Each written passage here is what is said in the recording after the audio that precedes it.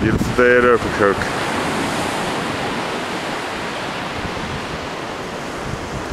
Got the whole beach to ourselves.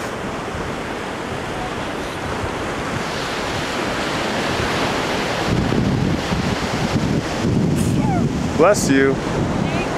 That's my place. There's the dunes. There's looking north. Just one other person right here. Fishing. Looking towards Hatteras. We just found a ton of seashells, sand dollars. This has got to be the record. Let me show you real quick. First of all, here's mommy's conch shells that she found. Nice. Some bullets over there. Then look at this. Erica found all these. Uh, hopefully you can see it with the shade. It's half in the shade, half not.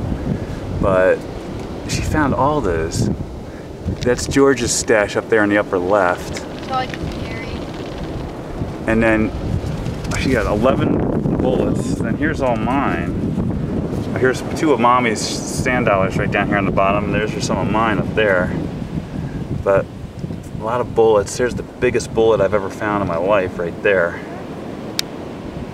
Bunch of jingles. Life is good on the Outer Banks.